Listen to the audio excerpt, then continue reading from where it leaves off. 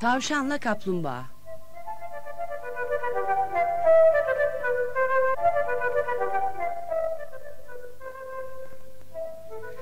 Tavşan çok hızlı koşmasıyla övünüyordu. Bütün hayvanlar ona hak veriyordu. Yine bir gün tavşan ne kadar hızlı koştuğunu anlatıyor, övünüyordu. Benim kadar hızlı koşan hiçbir hayvan yoktur. Ama kaplumbağa herkesi şaşırtan şu sözleri söyleyerek ona karşı çıktı. Övünüp duruyorsun. İstersen bir yarış yapalım. Kim daha hızlı koşuyormuş görelim. Ha ne dersin? Uzun kulaklarıma inanamıyorum. Sen neler söylüyorsun? Ne dediğimi duydun. Bir yarış yapalım. Var mısın? Şaka yapıyorsun herhalde. Sen ormanın en yavaş yürüyen hayvanısın. Nasıl olur da benimle yarış yapmaya kalkarsın ha? Sen yarışa var mısın onu söyle. Seninle yarışmaktan kaçacak değilim.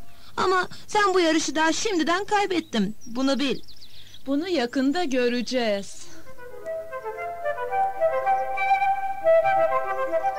Böylece kaplumbağa ve tavşan yarışın başlayacağı yere gelmişler sevgili çocuklar.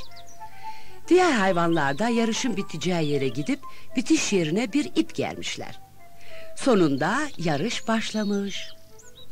Tavşan kendine çok güveniyormuş.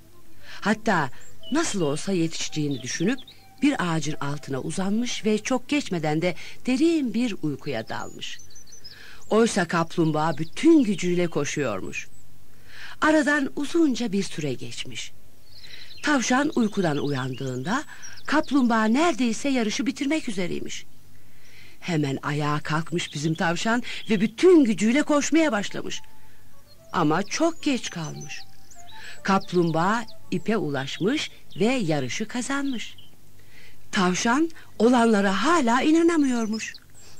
Bunca yıllık tavşanın başıma hiç böyle bir şey gelmemişti. Ormanın en yavaş yürüyen hayvanına yenildim. Ee, bu ders olsun sana. Kazanmak için yalnızca kendine güvenmek yetmez. Çok çalışmak gerek, unutma bunu.